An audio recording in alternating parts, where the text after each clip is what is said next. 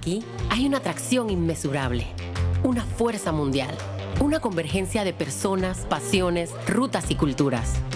Es donde los corazones y las mentes se fusionan y los continentes y los océanos se encuentran. Panamá es el lugar donde los mundos se unen, donde la rica biodiversidad y el comercio florecen, donde coexisten muchas culturas, donde los agudos contrastes del Caribe y el Pacífico, lo tradicional y moderno, lo cosmopolita y rural conviven en armonía. En Panamá hay una electricidad en el viento que conecta todo lo que toca como el tambor que mantiene el ritmo del orgulloso espíritu panameño. Aquí encontrarás tu alma bailando antes de haber escuchado la música, como el canal de Panamá que mueve el comercio entre mundos. Panamá te mueve a ti. Este abundante istmo te desafía a ver más, saborear más, escuchar más, conectar más, recargar más y sentir más. Porque Panamá es el lugar donde los mundos convergen. Panamá vive por más.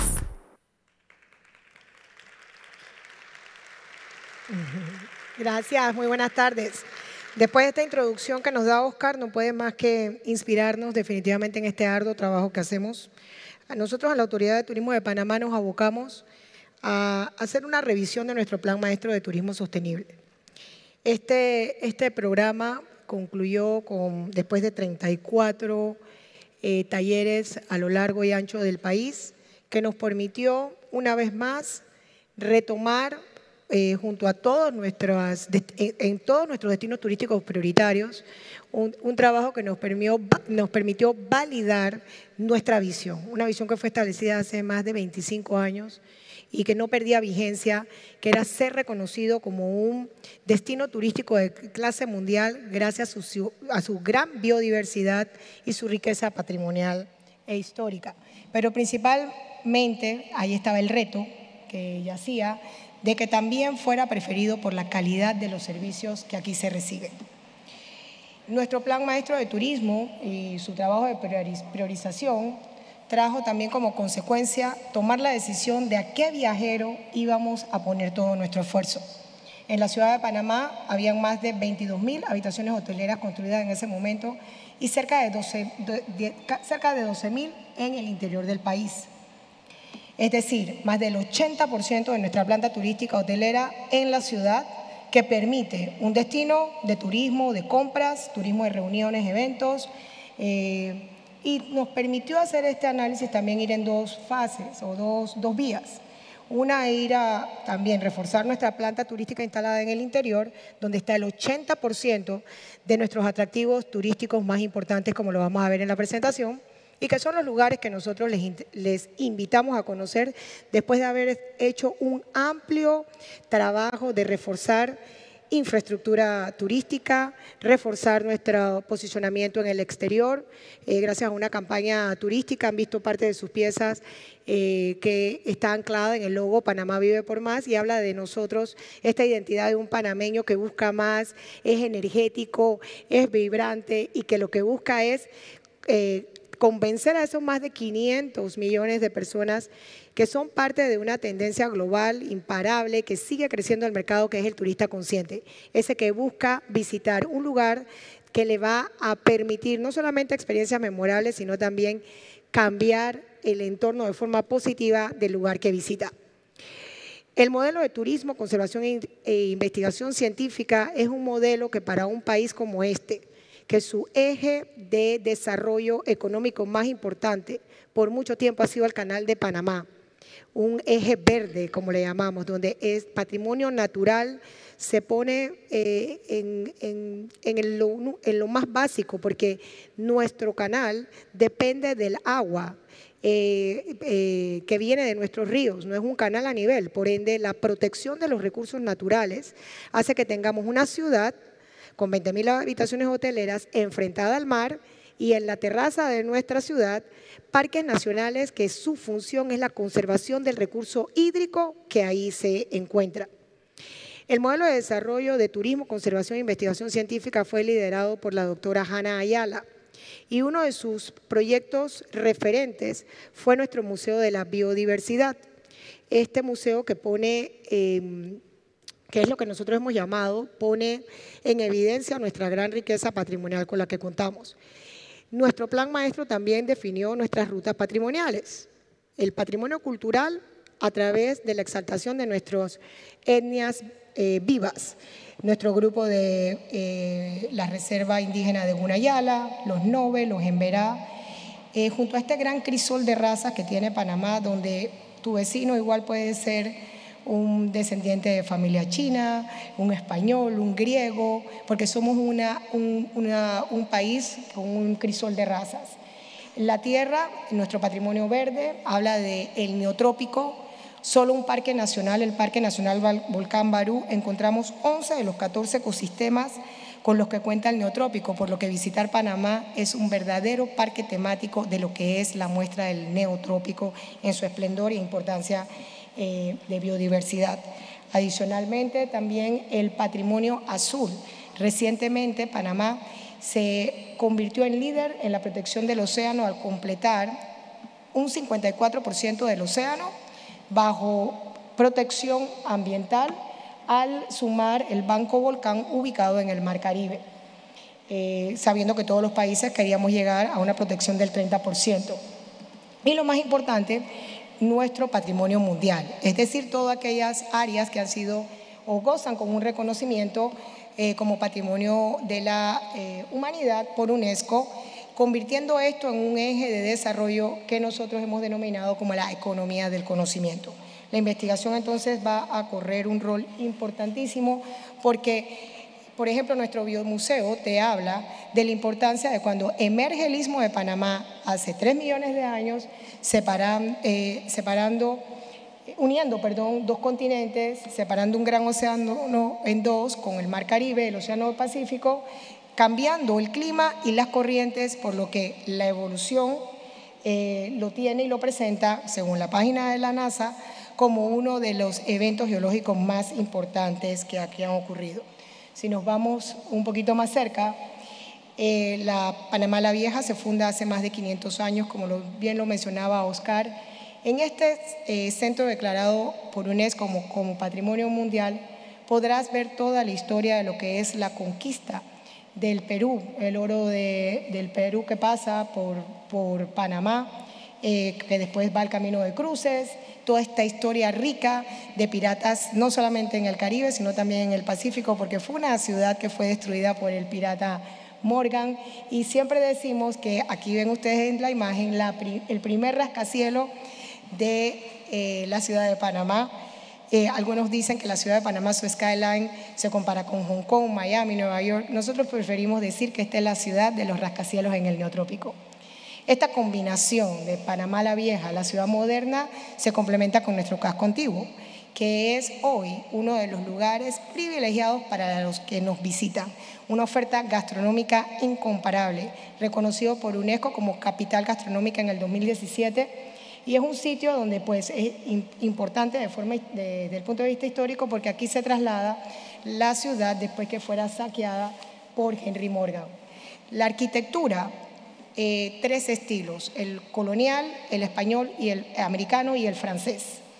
Eh, habla de nuestro tiempo de la conquista española, nuestra historia con la construcción del canal de Panamá y también el americano con la construcción del canal.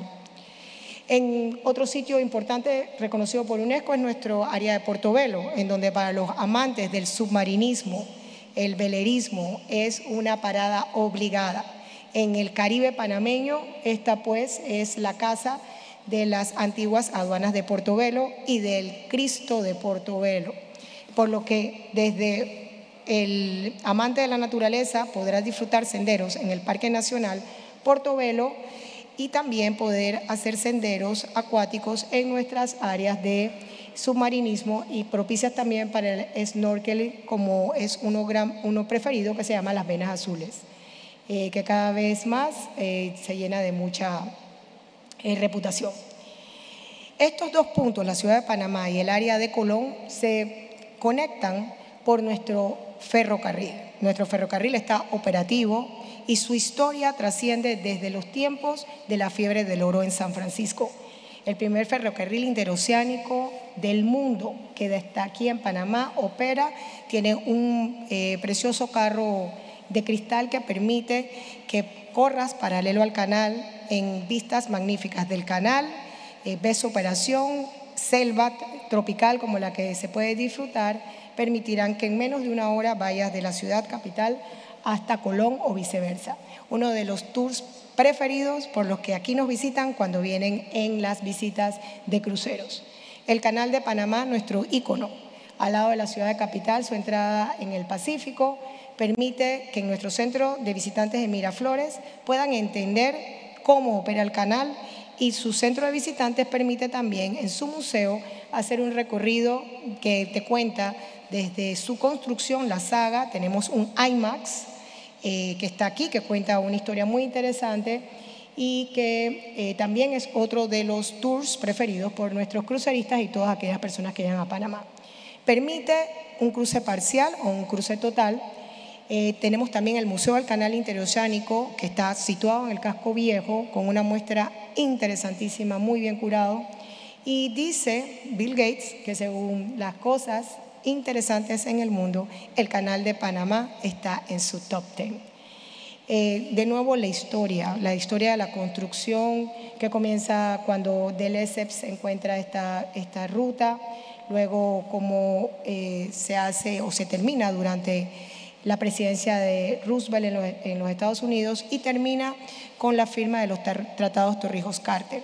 Nuestra generación no solamente le tocó ser eh, un espectador de lo que fue la transformación de este país gracias a ese tratado y la visión de ambos mandatarios, tanto Torrijos como Carter, de devolver este importante activo al país, sino también nos tocó ir a un referéndum, eh, votar positivo para la ampliación del canal.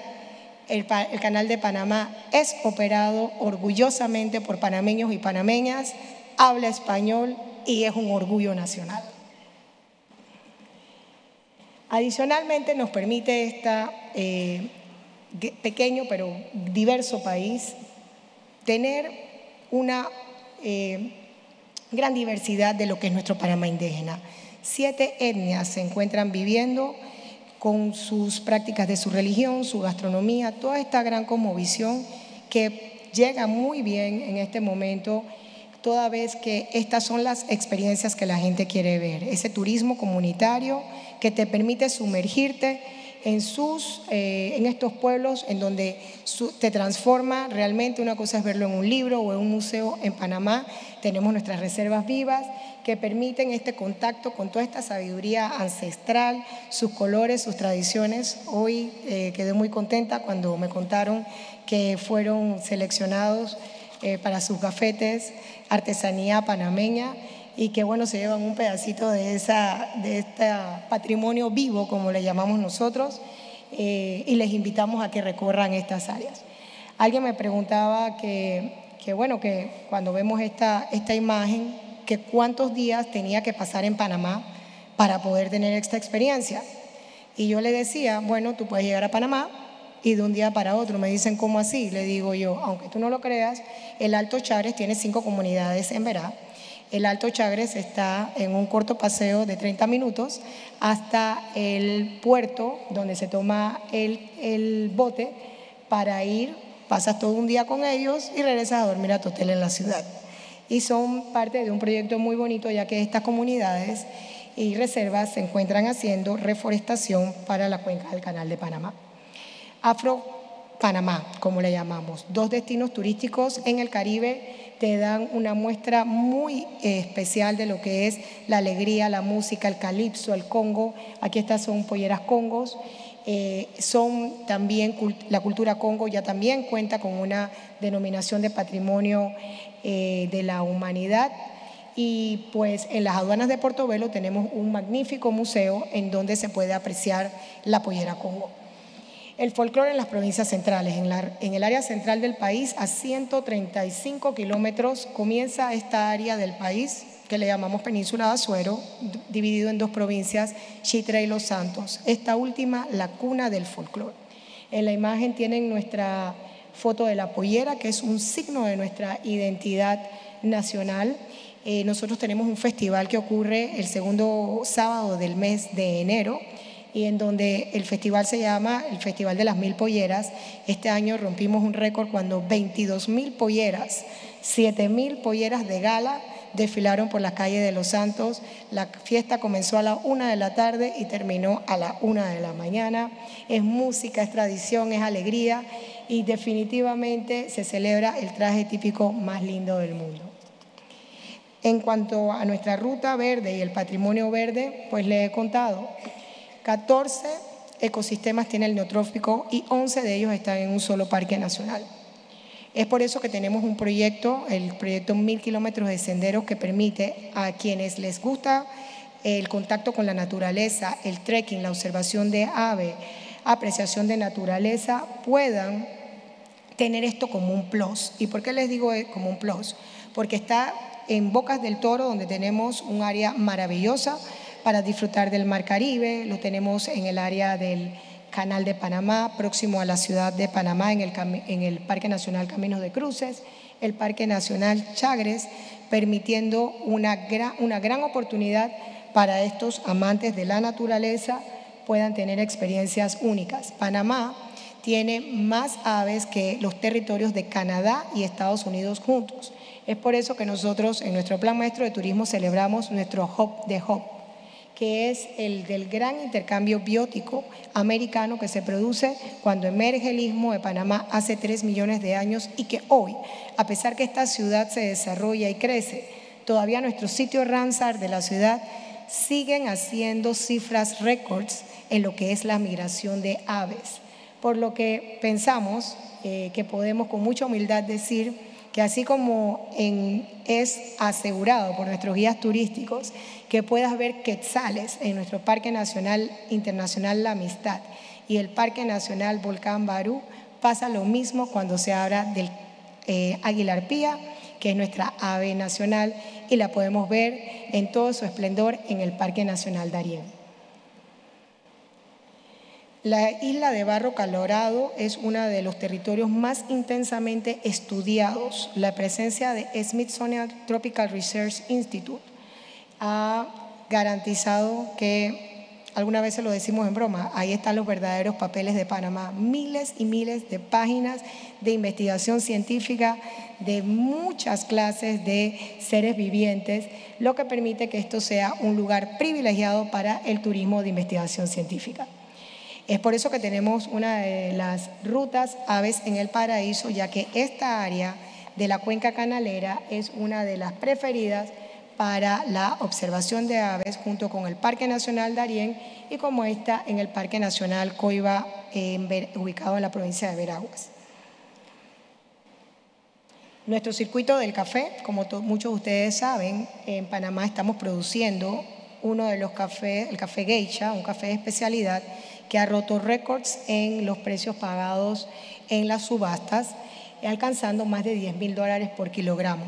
Lo que este circuito, eh, situado en cuatro distritos en la frontera con Costa Rica, permite conocer de su forma de cultivarse, cómo se cosecha, que todo se hace por manos de indígenas eh, noves, y también como su comercialización, así como también tener la experiencia de visitar estos dos grandes parques nacionales.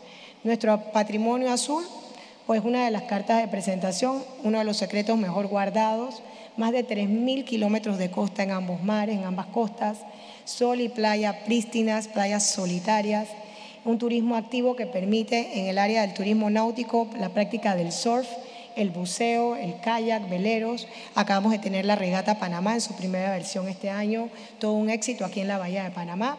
La semana pasada en cuanto a lo que son las observación de especies marinas, hacer una vacación entre julio y octubre te permite ver la belleza que es la temporada de cetáceos, como es la observación de ballenas en el Pacífico, y también el periodo de desove de tortugas, tanto en el área del Pacífico como también en el Caribe, principalmente en las costas de Santa Catalina y Pedací, donde también son sitios ideales para el surf. La navegación recreativa ha permitido que el año pasado superáramos en más de 300 tránsitos por el canal el paso de yates y megayates. eh, algunos de estos de eh, gente internacionalmente muy conocida del mundo de la farándula, del espectáculo y también eh, algunos de los hombres más ricos del mundo traen sus megayates al área de Coiba y el Golfo de Chiriquí año tras año como una tradición. La navegación recreativa también es importante su crecimiento en el tema de los cruceros. Ustedes han podido ver esta semana ha sido muy intensa. Desde el 25 de enero hasta este momento, 17.800 pasajeros excursionistas han estado en Panamá, tanto en nuestro puerto en el Caribe, Colón 2000, como en nuestra nueva terminal de cruceros de Amador. Y lo más interesante, como le contaba a Oscar hace un rato, era que los cruceros que se toman desde Panamá incluyen el tránsito en el canal de Panamá. Por ende, tu aventura comenzará en el Pacífico panameño, haces un tránsito en el canal de Panamá, vas al Caribe, regresas a la ciudad de Colón, puedes quedarte en una eh, vacación posterior al crucero antes de volver a sus casas. En Bocas del Toro tenemos también un, lugar muy conocido. Algunos dicen que Bocas es más popular y más fácil de encontrar en el Internet información de ellos que de algunos otros sitios en Panamá. Y esto se debe a una vez más un territorio altamente investigado, pero que también es famoso por la alegría que estas zonas muestran. Eh, Panamá, según las investigaciones que se han hecho, sobre todo en Bocas del Toro, ha logrado que se le identifique como un laboratorio de investigación sin paralelo y una mega reserva de conocimiento para el mundo entero. Nuestra conectividad es imprescindible. Cada, cada, día más decidir dónde ir de vacaciones en gente tan ocupada como ustedes, el tiempo es importante y el stopover de nuestra línea bandera Copa te permitirá conectarte con más de 89 ciudades en el mundo para tener una vacación en Panamá. Nuestro Panama Convention Center nos llena de mucho orgullo, ha sido eh, identificado en el top 5 de América para la aceleración de eventos y convenciones y espero que su experiencia deje en ustedes una satisfacción, así como estamos nosotros satisfechos de tenerlos a todos aquí en Panamá. Muchas gracias.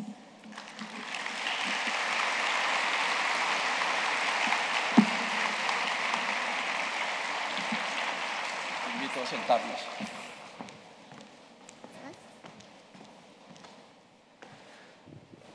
Te voy a cambiar una pregunta. Tenemos unos minutos para dos preguntas para la señora ministra que son de una imagen de su presentación y, y de una reflexión. La reflexión es, ministra, toda la maravilla del turismo tiene un solo sentido, que al final es mejorar la calidad de vida de los habitantes. Y eso se refleja en algo que denominamos turismo comunitario, que es de alguna manera que la comunidad se apropie, gestione y reciba los beneficios del turismo. Nadie puede cuidar mejor lo suyo que obviamente esa comunidad. ¿Cómo se manifiesta el turismo comunitario en Panamá? ¿Cómo hace ministra para que todo ese atractivo turístico revierta en beneficio de la comunidad? Lo principal es la descentralización del turismo. El turismo como en esa capacidad de un dinamo transversal que toca todos los sectores no, no puede dejar a nadie atrás. Y las comunidades son al final los que guardan esos atractivos naturales que tiene. Adicionalmente, el turismo comunitario para Panamá representa una oportunidad de oro para el combate de la pobreza y que nadie se quede atrás. 63 corregimientos de los 363 que están incluidos en nuestros destinos turísticos están o están en zonas de pobreza multidimensional. Es por eso que estas comunidades, simplemente mostrando su cotidianidad, cómo ellos viven, cómo cocinan, qué plantan, cómo lo plantan, ejemplo de los Emberá con sus y los Nove, perdón, con sus ah, rutas de su, cacao, su producción de cacao, haciendo lo que ellos saben hacer todos los días.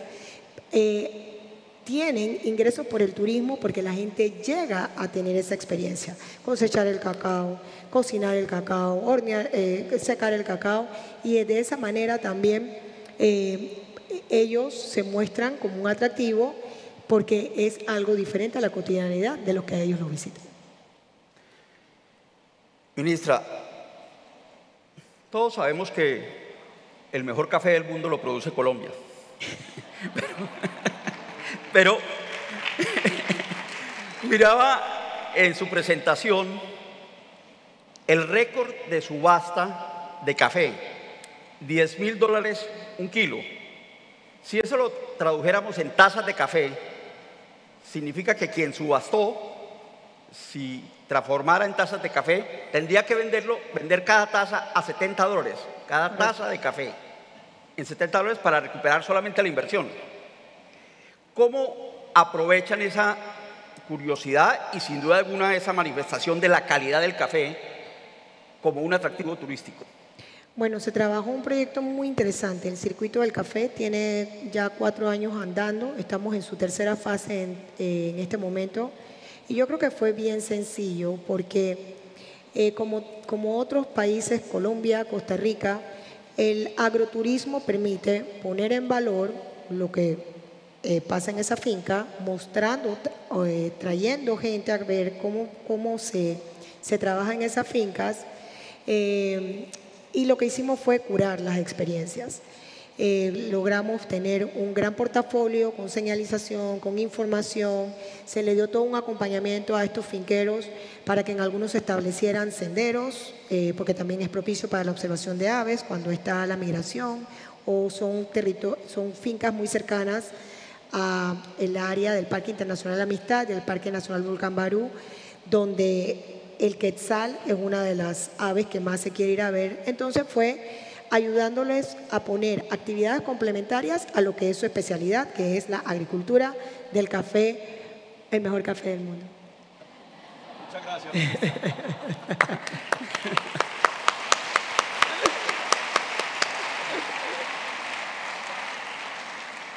Agradecemos a la ministra Denise no solamente que haya aceptado venir a, a este escenario, sino además que nos haya ofrecido su hospitalidad para nosotros muy grato haber podido estar y todavía nos falta disfrutar eh, unos días aquí en Panamá. Y este, sin duda alguna, es un sitio al que siempre se vuelve. Muchas gracias. Muchas gracias.